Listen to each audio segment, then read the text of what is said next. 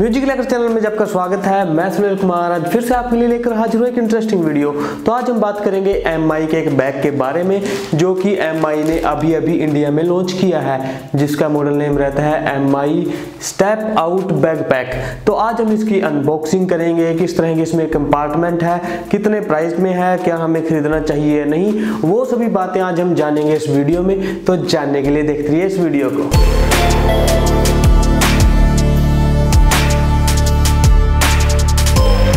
तो कुछ इस तरह की हमें एमआई की पैकिंग देखने को मिल जाती है। तो चलिए इस पैकिंग को अनपैक करके देखते हैं कि हमारा जो एमआई बैग है, वो किस तरह का रहता है। तो मैं इस पैकिंग को फाड़ लेता हूँ।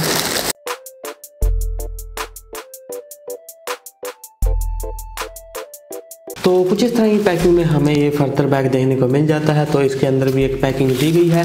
तो इस पैकिंग के ऊपर कुछ डिटेल मेंशन है, वो मैं आपको बता देता हूँ कि इसका प्राइस कितना है। इस पर प्राइस मेंशन है लगभग चार सौ निन्यानवे रुपये और उस पर बैग का मॉडल नेम लिखा हुआ है M I step out bag pack और इसमें क्या क्या कंटेंट्स रहता है, किस तरह का इस पर मटेरियल का यूज़ किया हुआ है, जैसे कि फैब्रिक पोलिस्टर लाइनिंग पोलिस्टर कुछ इस तरह के मटेरियल का यूज़ किया हुआ है। तो चलिए अब हम इस पैकिंग को अनपैक कर लेते हैं। तो कुछ इस तरह का हमारा ये बैग रहता है। तो चलिए अब हम इस बैग की डिटेल के बारे में जान लेते हैं कि किस तरह के इसमें कंपार्टमेंट हमें बैग में देखने को मिलेंगे और किस तरह के इन्होंने क्लॉथ का यूज़ किया हुआ है। तो चलिए सबसे पहले बात कर लेते हैं बैग के डिज़ाइन के बारे में। तो मैं इसको एक बार अच्छे से खोल लेता हूँ। इसकी जो शेप रहती है बैग की दरअसल। तो कुछ इस तरह का हमारा ये बैग रहता है। यहाँ पे MI का इन्होंने लोगो बनाया हुआ है। देन उसके बाद एक हमें बीच में जिप देखने को मिल जाती है, जो कि हमारी रहती है क्विक एक्सेस यानी कि हमें अगर कोई चीज़ इसमें रखनी है तो हम इससे आसानी से खोल के यूज़ में ला सकते हैं। तो इसको ओपन करके दिखा देता हूँ। तो कुछ इस तरह का हमें कंपार्टमेंट देखने को मिल जाता है। तो इसमें हम क्विक एक्सेस के लिए अपना पावर बैंक वगैरह रख सकते हैं, या फिर कुछ और गैजेट छोटे मोटे गैजेट होते हैं, उनको आसानी से प्लेस कर पाते हैं। तो मैं आपको एक बार इसमें कोई गैजेट रख के दिखा देता हूँ।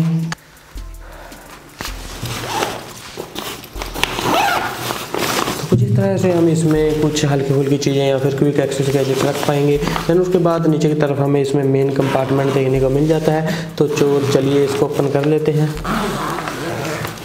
तो ओपन करने के बाद कुछ इस तरह का हमें कंपार्टमेंट देखने को मिलेगा। तो आप देख ही रहे होंगे कि इसमें कोई फर्दर कंपार्टमेंट हमें देखने को नहीं मिलता। सिंपल ये एक कंपार्टमेंट बनाया हुआ है। तो अंदर जो मटेरियल है, दरअसल वो ठीक ही मटेरियल है, हल्की फुल्की लेयर है, दरअसल एक कपड़े की और इसमें कुछ ज़्यादा मटेरियल का यूज़ नहीं किया हुआ। अंदर की तरफ़ हमें एक एमआई का यहाँ पे लोगो वगैरह देखने को मिल जाता है। तो कुछ इस तरह का हमारा ये बैग रहता है। बाकी अंदर की तरफ़ हमें इसमें सिलिकॉन के पैकेट मिल जाएँगे ताकि हमारा बैग मॉइस्चर पकड़ के ख़राब ना हो। तो कुछ इस तरह के इसमें कंपार्टमेंट रहते हैं। तो चलिए अब हम बात कर लेते हैं बैग के बैक साइड में। तो बैक साइड में कुछ इस तरह का हमें लुकिंग देखने को मिलेगी और जो हमारे हमारे ये हैंडल रहते हैं जिनको हम अपने शोल्डर पे हैंग करेंगे। तो इनके अंदर हमें हल्का फुल्की पैडिंग देखने को मिल जाती है ताकि ये थोड़ा बहुत कंफर्ट रहे। तो उसके बाद दोनों ही हमें हैंगर में एक पैडिंग देखने को मिल जाती है। ये इस पर एक हमारे जो शोल्डर पे हम बैग को हैंग करते हैं, उसको एडजस्ट करने के लिए एक एडजस्टमेंट बनाई हुई है, जिससे हम अपने बैग की लेंथ ज़्यादा या कम कर सकते हैं।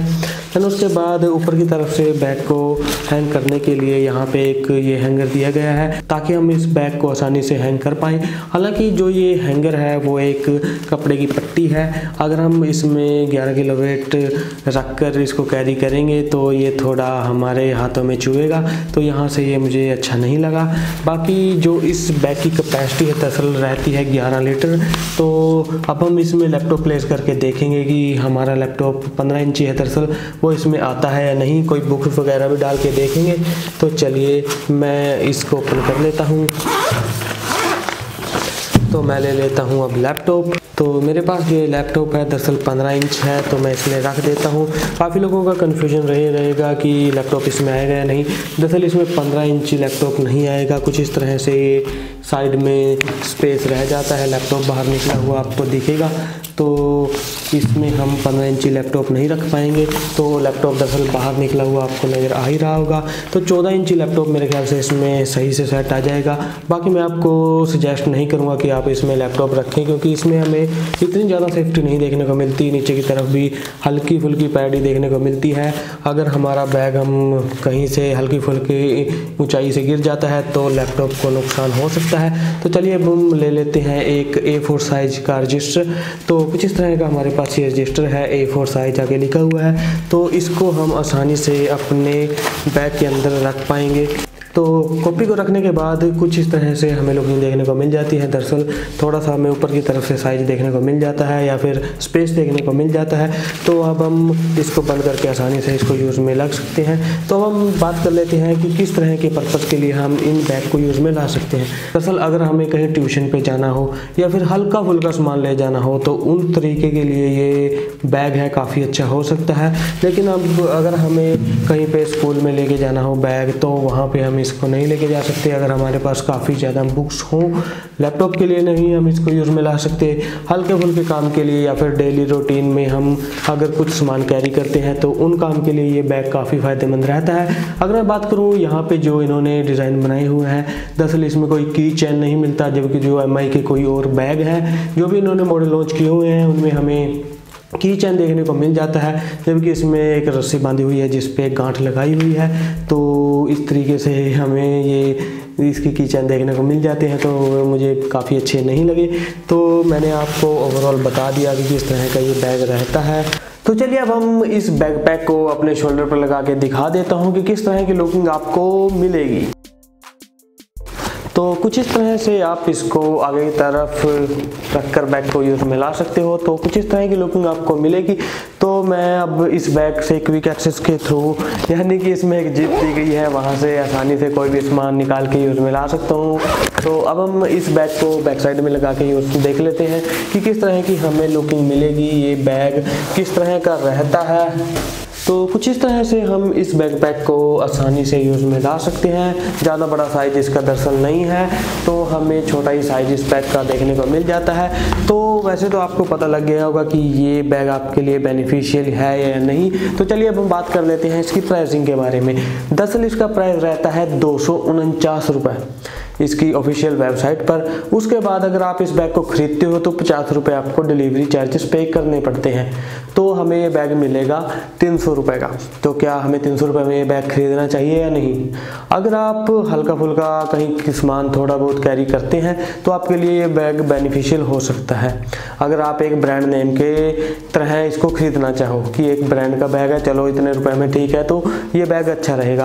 अगर आप कोई लोकल पर्सन है या फिर कोई आम आदमी है, जिसको ब्रांड से कोई मतलब नहीं है तो मैं कहूँगा उसके लिए बैग अच्छा नहीं है। क्योंकि वो सौ रुपये एक्स्ट्रा डालकर कोई मार्केट से बैग खरीद लेगा, जिसका साइज़ भी बड़ा होगा, कहीं कंपार्टमेंट भी होंगे तो वो बैग उसके लिए बेनिफिशियल होगा।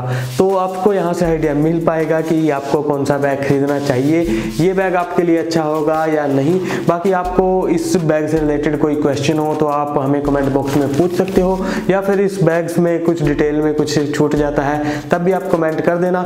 तो उसका मैं आपको आंसर दे दूँगा। वैसे आपको पता चल गया होगा कि किस तरह का ये बैग रहता है। तो आपका इस वीडियो को देखने के लिए बहुत बहुत धन्यवाद। आप देख रहे थे दी म्यूजिकल हैकर और हँसते रहिए, हंसाते रहिए।